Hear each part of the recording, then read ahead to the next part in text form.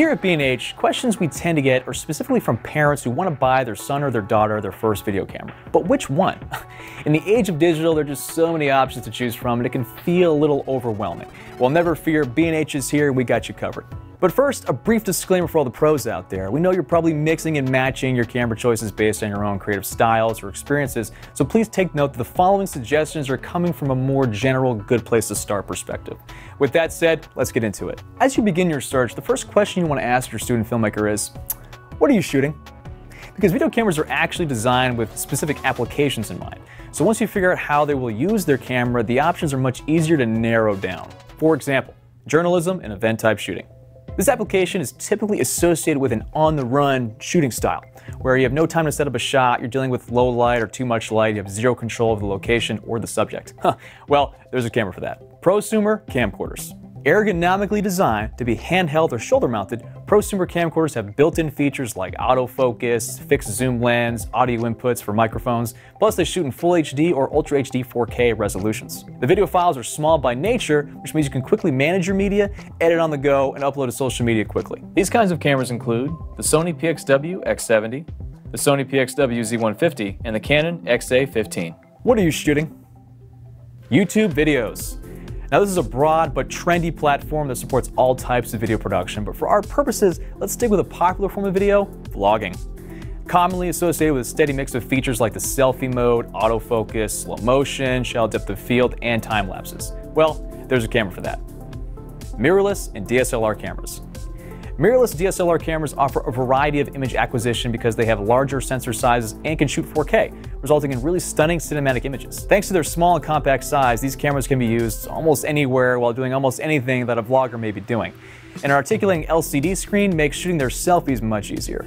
Plus, these cameras can also shoot high-res photos for their time-lapse transitions making it the perfect combo camera for your student filmmaker. These kinds of cameras include the Sony uh, a6300, the Sony a7R III, the GH5 from Panasonic, and uh, ooh, the Canon 6D Mark II, also a good choice. Don't forget your GorillaPod. Hey, what are you shooting? Documentary.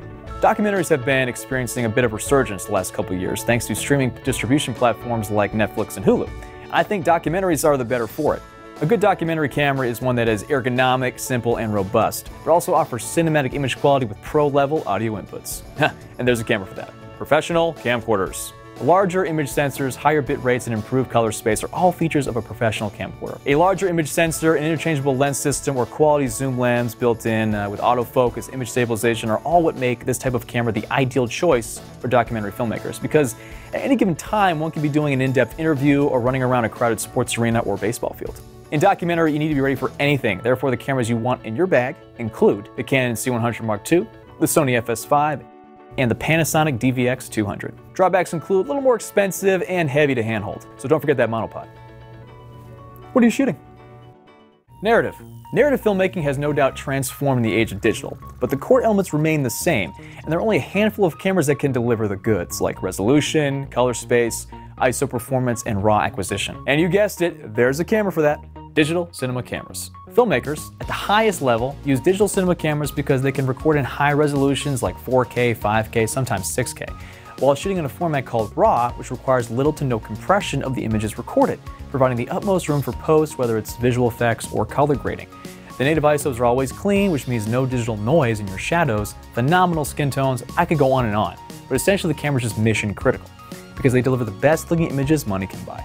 So if you want the best looking footage on campus next year, making all your friends green with envy, these are the cameras to consider. The Blackmagic Design Ursa Mini Pro, the Canon C200, the Sony FS7, and the Panasonic AU EVA1. Some drawbacks include manual focus and exposure, bigger file sizes, they require heavy expensive rigs and camera crews to use them properly. Now a lot of cameras mentioned today can blend between applications and genres of videos, but hopefully this helped guide you in the right direction. And of course there are always more things to consider when purchasing your first video camera, but we couldn't cover them all. I only get four minutes. So tell us about your first video camera and how it worked for you in the comments section below. I want to hear from you. This is Jake with B&H. Just keep shooting.